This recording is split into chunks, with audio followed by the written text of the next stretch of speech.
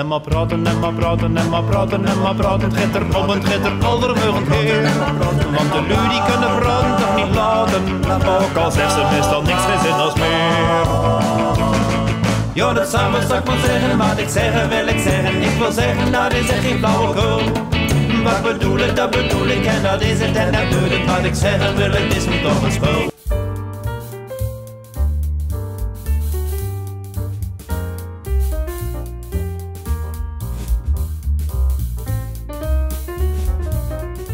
In mei komt het vakantiegeld weer op ons eh, bordje. Wat gaat u ermee doen? Nou, niet echt een specifieke bestemming.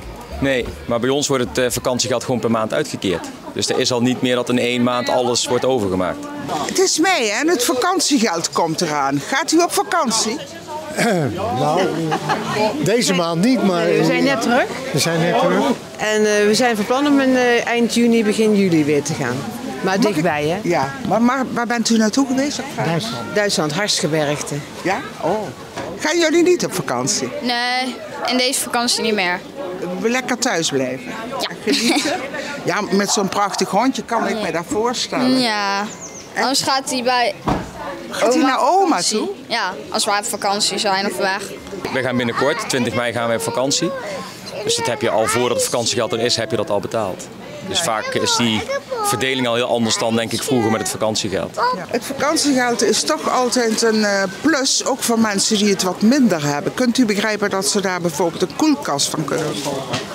En wat we kunnen kopen? Bijvoorbeeld een koelkast. Dus Ja, dat, eh, ja, ja, dat hoor ik wel eens, ja. Ja, Ja, dat mensen het echt niet hebben. ja, Ja, die, vakantiegeld. ja, ja, dat weet ik, ja. Nee. Maar eigenlijk zou u het iedereen gunnen. Ja, natuurlijk. Ja, maar ik bedoel, iedereen heeft zijn jeugd ook kunnen investeren in hoe het dadelijk, in de, als ik oud ben, hoe, wat gaan we dan doen? En als je dan geen pensioen opbouwt, ja, dan is het ook een beetje eigen Er schuld. hè? zijn best omstandigheden dat iemand Ja, ook dat. buiten zijn schuld toch in een situatie komt dat hij dat moeilijk kan. Ja, maar Ja, je vakantiegeld moet gebruiken. Ja, dat kan. Dus Ja. Dat is heel vervelend. Ja. Ja, nou ja, je, je kan natuurlijk wel altijd van alles bedenken. Eh, het huis verder isoleren of dat soort dingen. Eh, ik, ik denk dat soort dingen. Niet echt voor vakantie. Nee, nee, nee. Nee, als we het gebruiken, gebruiken we het voor, voor eh, vakantie. Maar goed, wij, wij hebben een stichting, we werken in Oeganda, dus dan gaan we naar, daarvoor naar onze stichting in Oeganda. Ja. Vertel even over Oeganda, want dat is natuurlijk wel een mooi project, denk ik. Daar kun jij veel over vertellen. Ja, wij doen daar ontwikkelingswerk al een aantal jaren. Voor kinderen vooral. Ontwikkeling van kinderen stimuleren. Ja, en wij vinden het land ook zo geweldig. En de mensen. En er is zoveel hulp nodig. En wij willen ons daar graag volledig voor geven. Dus Maar een supergoed doel hè, voor het stukje vakantiegeld wat je eraan wilt spenderen. ja, nou ja, dat is een keuze die wij maken. Ja, wij doen het met ons, met ons hart. Helpen wij daar. Ja.